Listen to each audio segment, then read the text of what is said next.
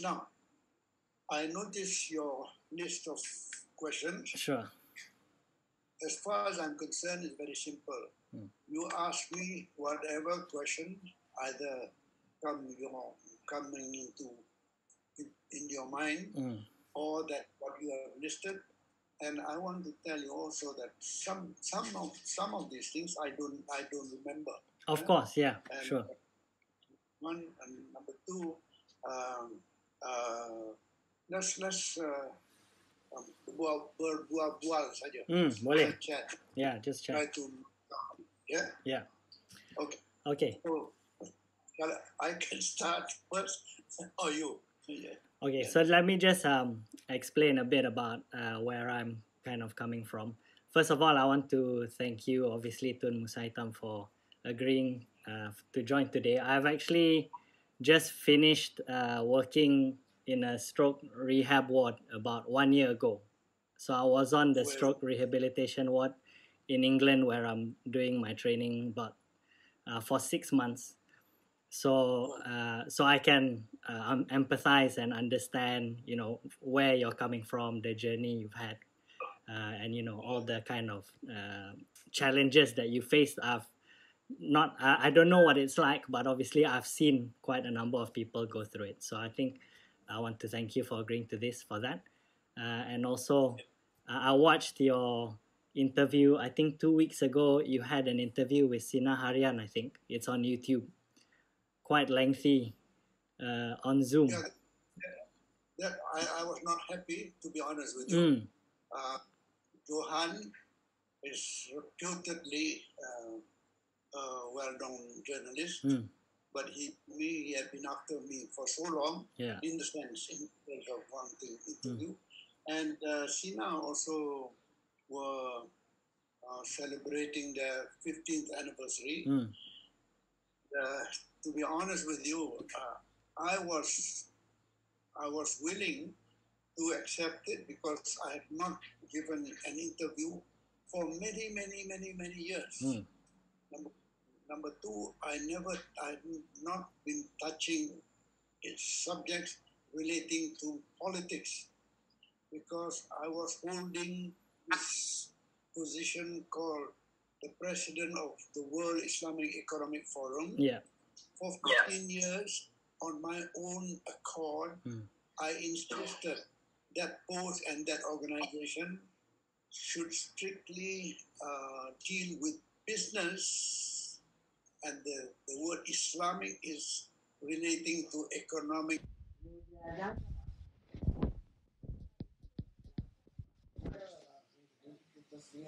and religion. Hmm.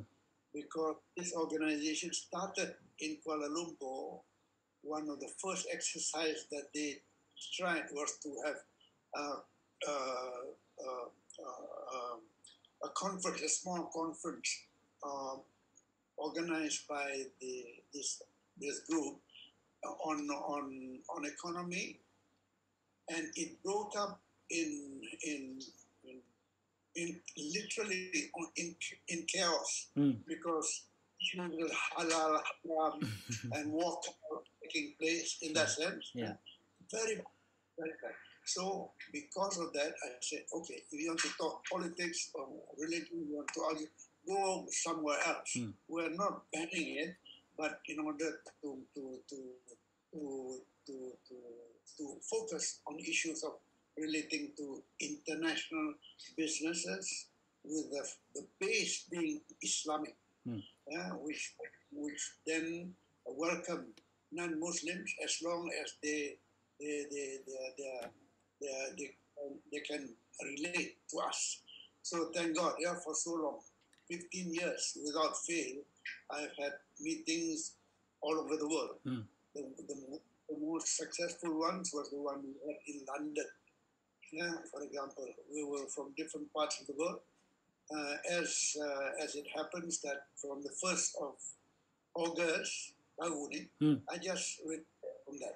okay. So I'm very, I'm very free sort of thing in my, Yeah. in my.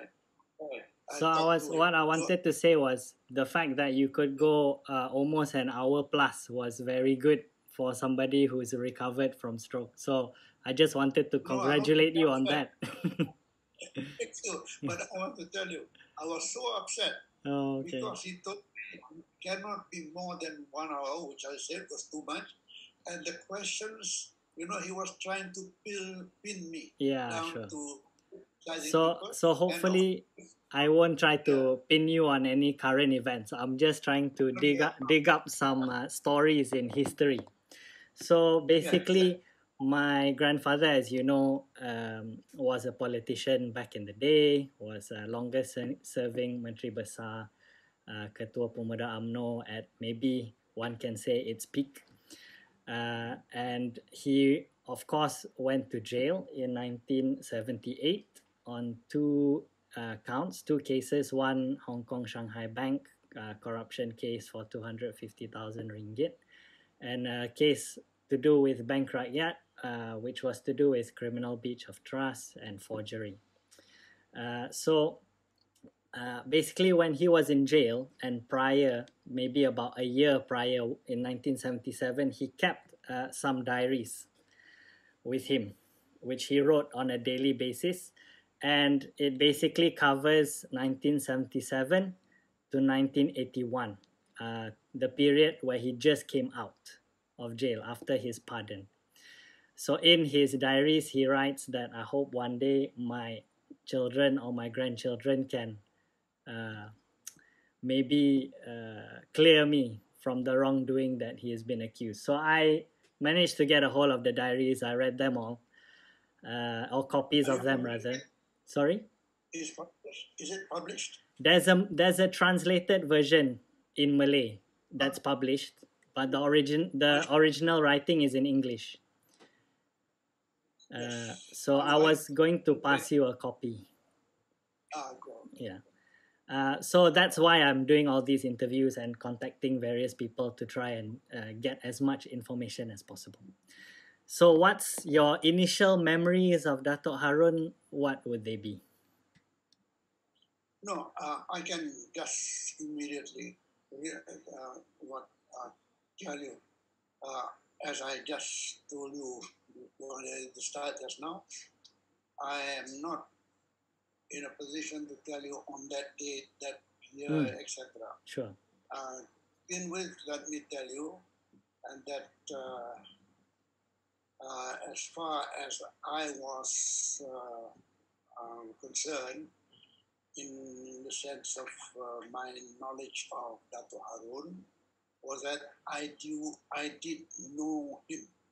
I knew him as already being a public figure in Selangor.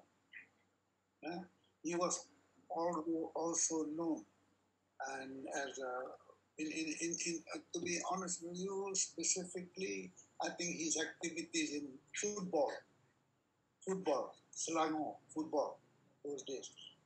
In, in sports, he was active, and his name, we knew, Dato Harun, uh, uh, that way. But uh, as time went by, went by and I, um, um, I left government. Then I went um, rather uh, at a short time, couple of years actually, but I left government service. Then I joined um, a business organization that took me to, uh, to, to Brunei, to be honest, Brunei. And uh, that time I was not, in the know of, I was not in the know of Harun. Only when I came in, to, when I came to Kuala Lumpur, that was the time, it was 1960, 66 or 67. I came to Kuala Lumpur because I was appointed by Dato Sardon, the, the Dato Sardon, the then uh, UMNO youth leader. Mm. Yeah? He was uh, he became Youth leader much later. I'm talking about Dr. Sardon now. But as Minister of Transport, somehow or other, which is another story, Dato Sardon took me in as his political secretary.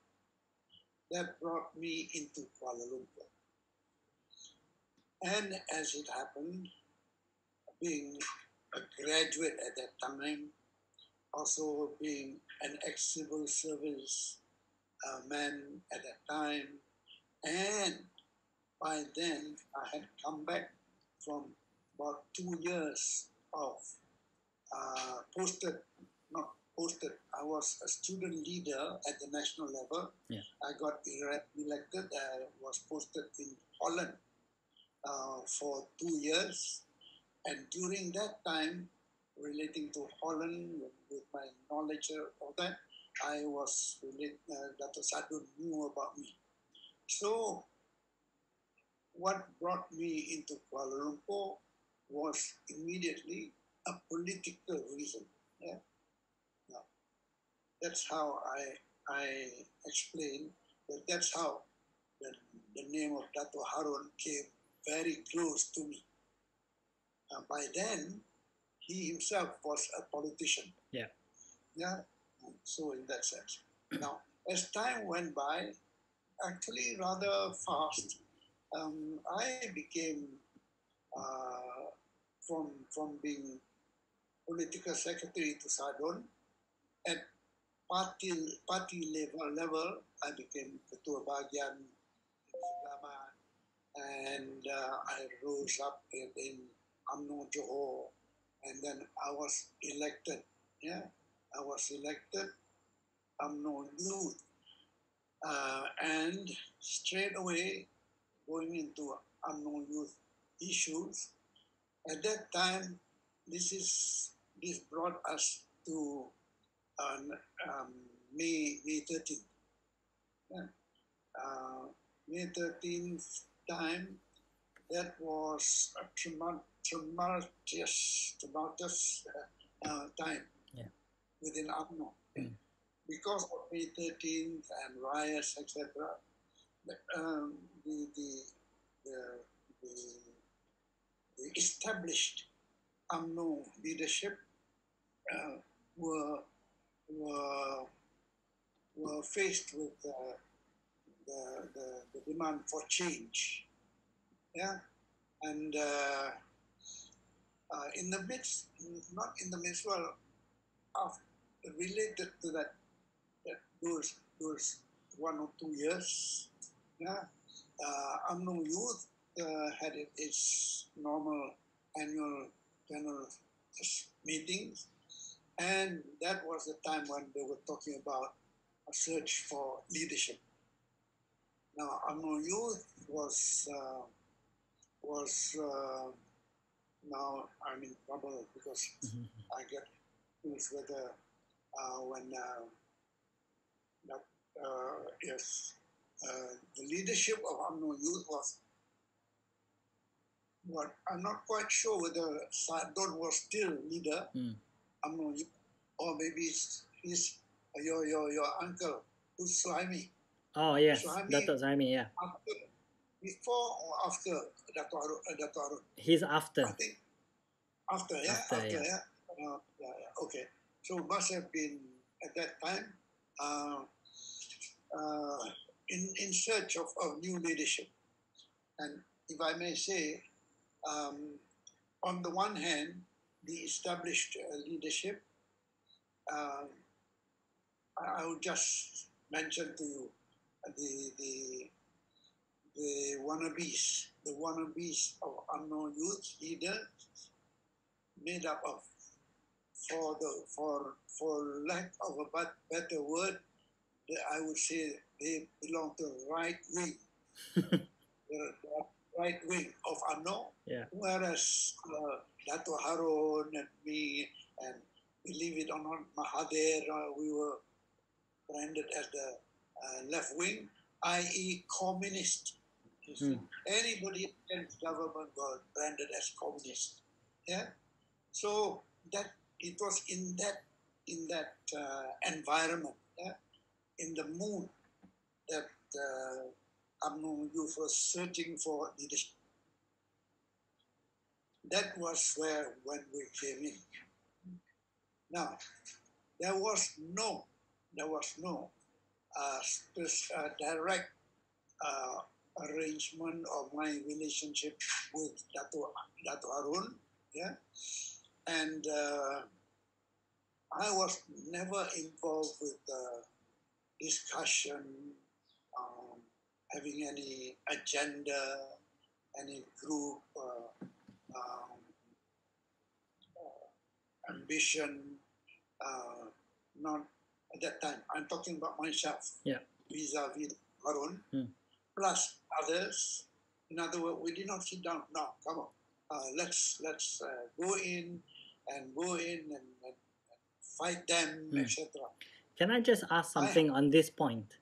Because my Yes, grand yes, my grandfather's uh, maybe in books in written text he's kind of notoriously associated with May 13th.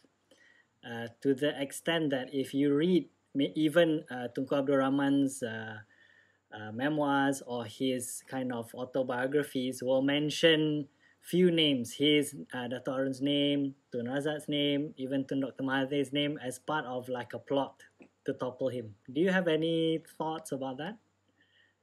Yeah, I was well. I was planning uh, to, to talk about this anyway. Hmm. Good, you you. I mean, we go straight into that. Yeah. I mean, I would I submit that Dato Harun, neither Razak, had no in no no no no no relationship uh, regard, regarding plot, a plot to topple the government or to to, to, to cause chaos so that government would change whether well in some cases when in the in the in the in the in the course of discussion talking about uh, the communist plot etc we were not to the best of my knowledge there was no mention no inkling as i'm concerned yeah well i know of individuals in my if i may say in my group yeah, i.e. the so-called le- le- left wing Left wing. uh, people, uh, uh, they are the type who talk about it.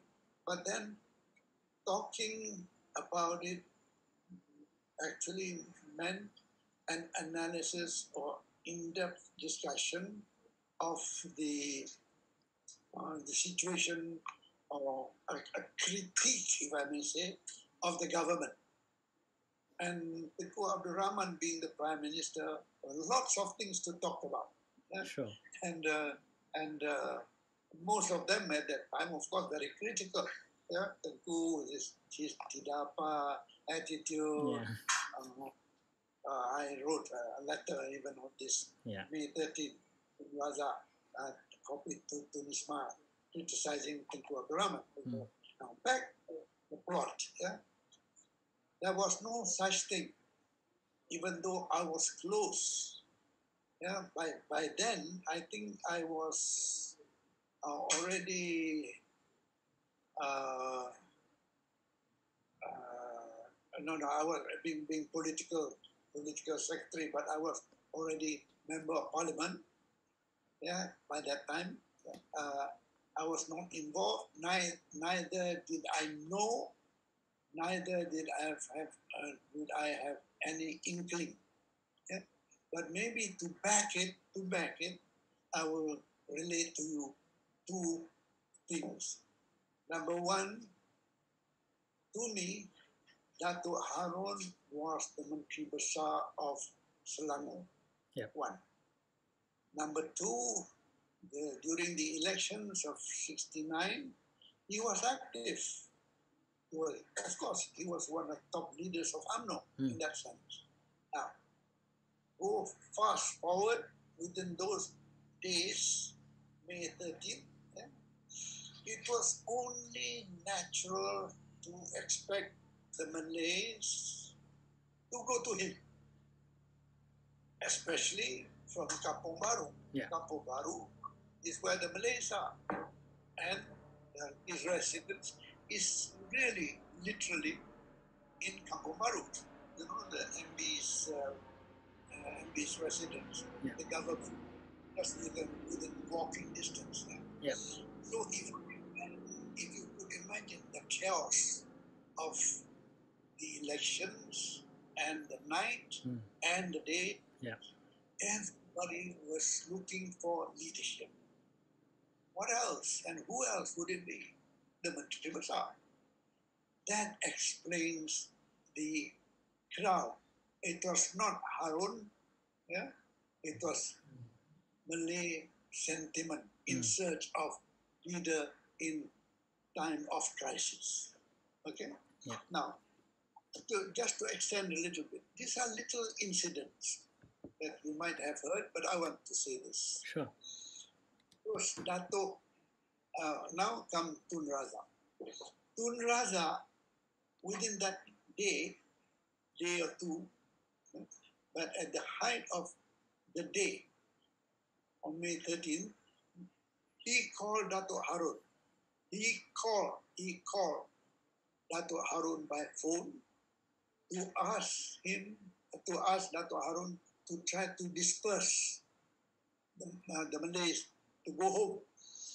Uh, I mean, to put it in, in simple Malay. Mm. uh, uh, yeah, uh, and uh, uh, you, you, I mean, to go, just, just to go straight away rather than other flowery explan- uh, explanation, Mm. I'll say, what is that? by the time Razak called Harun, the Malays had indeed come out of to Dato Harun's house, not to go home, but to fight. Mm. Uh, use fight in inverted commas. Yep. That's how it is. So, in one stroke, if I may say, my relating to it, Mm. uh, it, it, it, it, it dispels Dato Harun's uh, uh, role, alleged role, and also it also dispelled the idea to say that Razak was behind. Yeah? You know what I mean? Yep. I say that? Yeah. Are you there? So uh, I can kind of concur with you in that sense because actually there's an article written by Tan Chee Khoon, the late Tan Sri Tan Chee Khoon, about Very his involvement uh, or non non involvement in May 13th, and then that published in the Star. I have the article with me, and then that also corroborates with when I wrote to Tun Hanif Omar, who was ex IGP, and he was one of the people that gave evidence for the NOC at the time, basically clearing him. And then I believe Tun Dr. Ismail, in his first memoir, was one of the politicians who wanted to blame my grandfather for it. But after the investigation, he was convinced otherwise. So, for me uh, personally, I'm quite happy that he wasn't uh, directly involved or didn't instigate it.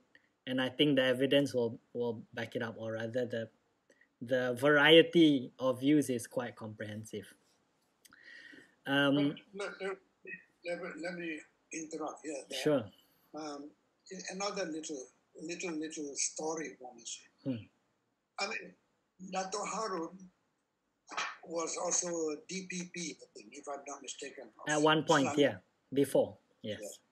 And you know, he mixed around very, very, very, very liberally with anybody, especially to mention relevant to it here with Chinese as friends, normal, Yeah, educated.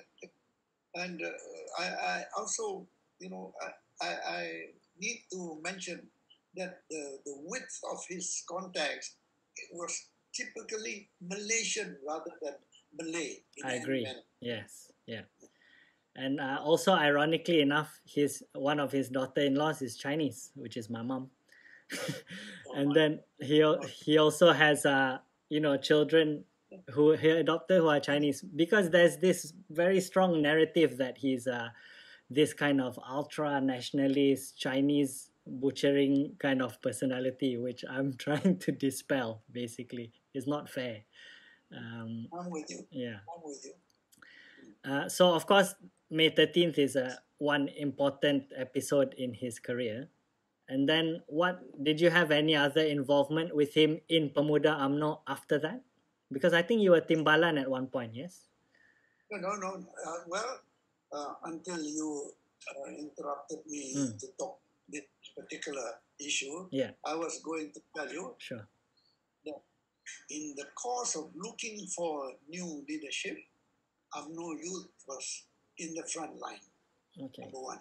Number two, they uh, put up. They means we, we not not as in a, in a way of uh, in a way of toppling government, etc. To get together. Uh, Dato Harun was nominated as uh, UMNO youth leader, and I was nominated as deputy. They, they means the right wing. You know, let me, I want to qualify it Mm. for the lack of a word. Mm. I use the word them, the right wing. eh? They put up Albar, Syed Albar. Can you imagine? as UMNO, yes, seriously. yeah. Uh, UMNO youth leader, and his deputy was uh, now. Uh, he was with Utusan, was his name? Michael Osman.